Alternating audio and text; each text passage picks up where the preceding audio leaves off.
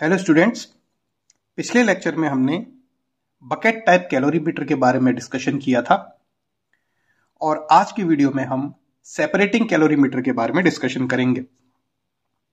जिनने भी channel subscribe नहीं किया है, कृपया चैनल सब्सक्राइब करें वीडियो को लाइक करें, अपने दोस्तों में शेयर करें। तो हमारे पास में ये सेपरेटिंग कैलोरी मीटर है।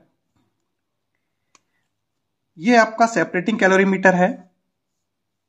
जिसमें आउटर चैम्बर है this is the outer chamber और ये ये इनर चैम्बर है।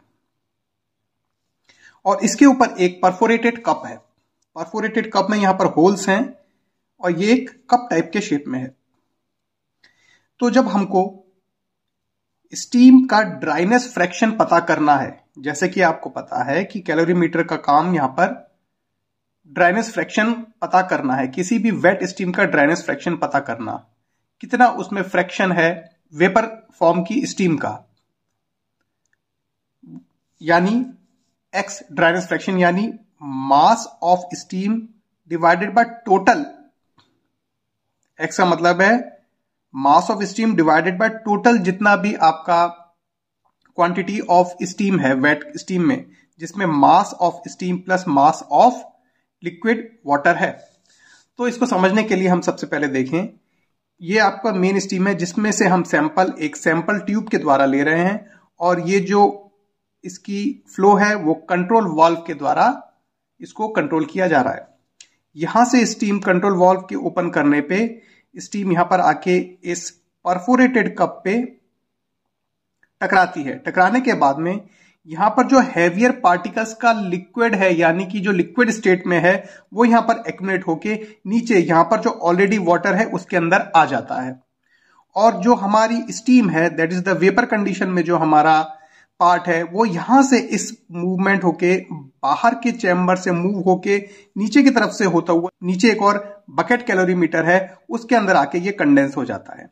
तो यहाँ से हमारा लिक्विड पार्ट अलग हो गया, और यहाँ से हमारा वेपर पार्ट अलग हो गया। इस वाले का जो आपका लिक्विड एक्यूमुलेट हुआ है, उसका मास हम इस स्केल के द्वारा पता कर सकते हैं।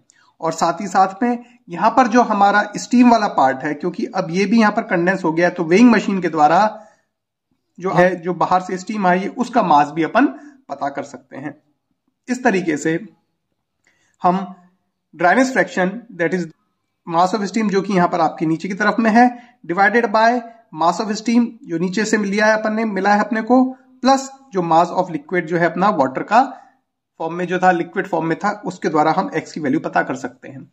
अब इसकी, ये कब यूज़ होता है? It is use for highly wet steam जब स्टीम बहुत वेट होती है, तब हम इस टाइप के कैलोरीमीटर का यूज़ करते हैं। और ये it gives higher value of dryness fraction as compare to actual value of dryness fraction ये जो आपका कैलोरीमीटर है, उसकी एक्यूरेसी जो है इतनी अप्रोप्रिएट नहीं है और ये आपकी हायर वैल्यू देता है as compare to the actual value वो इसलिए क्योंकि यहाँ पर स्टीम के साथ साथ में वाटर पार्टिकल्स भी निकल जाते हैं तो जो एमएस की वैल्यू है वो बढ़ जाती है क्योंकि उसके अंदर लिक्विड के पार्टिकल्स भी साथ में आ गए हैं।